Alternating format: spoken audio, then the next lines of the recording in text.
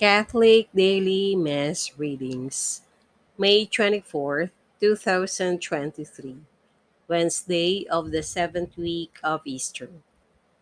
A reading from the Acts of the Apostles. At Miletus, Paul spoke to the presbyters of the church of Ephesus. Keep watch over yourselves and over the whole flock of which the Holy Spirit has appointed you overseers in which you tend the church of God that he acquired with his own blood. I know that after my departure, savage wolves will come among you, and they will not spare the flock. And from your own group, men will come forward, perverting the truth, to draw the disciples away after them. So be vigilant and remember that for three years, night and day, I unceasingly admonished each of you with tears. And now I commend you to God and to that gracious word of His that can build you up and give you the inheritance among all who you are consecrated. I have never wanted anyone's silver or gold or clothing. You know well that these very hands have served my needs and my companions. In every way, I have shown you that by hard work of that sort, we must help the weak.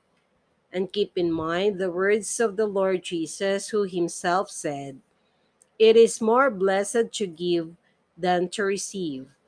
When he had finished speaking, he knelt down and prayed with them all.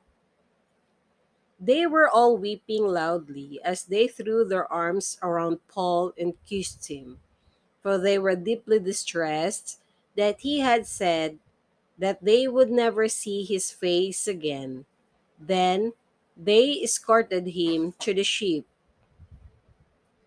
The word of the Lord. Thanks be to God. Responsorial Psalm, let our response be Sing to God, O kingdoms of the earth. Show forth, O God, your power, the power, O God, with which you took our part.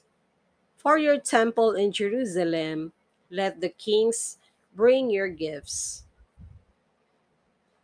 Sing to God, O kingdoms of the earth. You kingdoms of the earth, sing to God Chant praise to the Lord, who rides on the heights of the ancient heavens.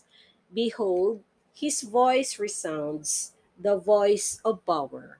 Confess the power of God. Sing to God, O kingdoms of the earth. Over Israel is his majesty, his power is his in the skies. Awesome is his sanctuary in God the God of Israel. He gives power and strength to his people. Sing to God, O kingdoms of the earth.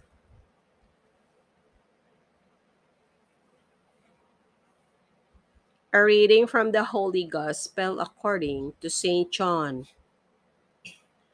Lifting up his eyes to heaven, Jesus prayed, saying, Holy Father, Keep them in your name that you have given me, so that they may be one just as we are one.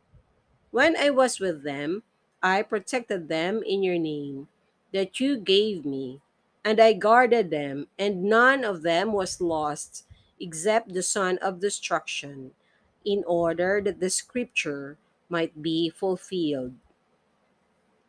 But now I am coming to you I speak this in the world so that they may share my joy completely. I gave them your word, and the world hated them, because they do not belong to the world, any more than I belong to the world. I do not ask that you take them out of the world, but that you keep them from the evil one. They do not belong to the world any more than I belong to the world. Consecrate them in the truth. Your word is truth. As you sent me into the world, so I sent them into the world. And I consecrate myself for them, so that they also may be consecrated in truth. The Gospel of the Lord. Praise to you, Lord Jesus Christ.